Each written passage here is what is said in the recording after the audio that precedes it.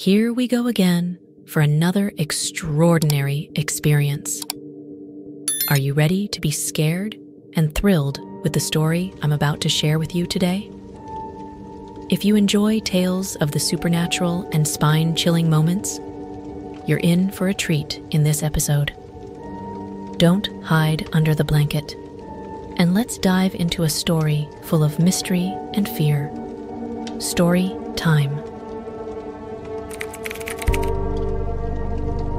The Stanley Hotel, located in Estes Park, Colorado, is known for its rich history and paranormal activity. Built in 1909 by Freeland Oscar Stanley, the hotel served as a luxurious retreat for the wealthy. Over the years, it gained fame not only for its grandeur, but also for its alleged supernatural occurrences. Freeland Oscar Stanley, co inventor of the Stanley Steamer automobile, constructed the hotel to cater to upper class visitors seeking the health benefits of the Rocky Mountain Air. The Stanley Hotel featured modern amenities such as electricity, running water, and telephones, making it an extravagant destination for its time. The hotel's grandeur and scenic location contributed to its popularity, attracting notable figures like Theodore Roosevelt and the horror novelist Stephen King. In fact, it was during his stay at the Stanley Hotel that Stephen King got inspired to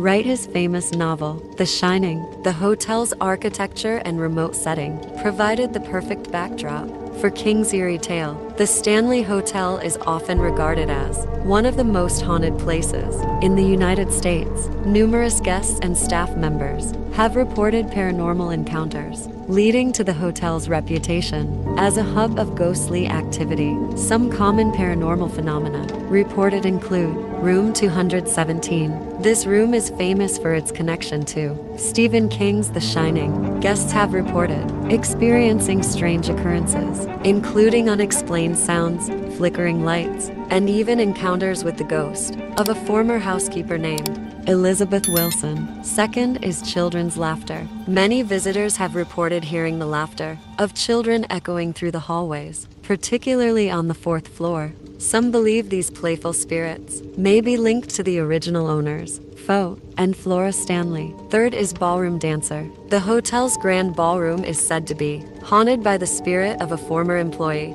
who enjoys dancing to the music that isn't audible to the living. Fourth is haunted hallways. Guests and staff have reported ghostly apparitions, sudden temperature drops, and feelings of being watched in various parts of the hotel. The Stanley Hotel offers guided ghost tours for those interested in exploring its haunted history. Despite its eerie reputation, many visitors are drawn to the hotel's charm and its unique blend of history and paranormal intrigue.